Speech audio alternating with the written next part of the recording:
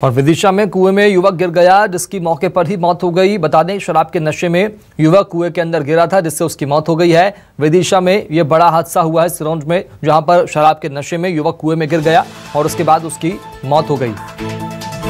तो विदिशा में युवक कुएँ में गिरा, शराब के नशे में युवक बताया जा रहा था और इसके बाद मौके पर ही युवक की मौत हो गई। ये जानकारी विदिशा से सामने आ रही है। कुएँ से युवक के शव को बाहर निकाल लिया गया, पोस्टमार्टम कराया गया तो शराब के नशे में युवक जो है, वो कुएँ में गिर गया था। तो कुएँ में गिरने से युवक की मौत होने का मामला सामने आया है विदिशा के सिरौंज से। बता दें आपको, युवक जो है नशे में था और उसके बाद वो कुएँ में गिर गया, उसका शव निकाला गया। तस्वीर आपको दिखा रहे हैं।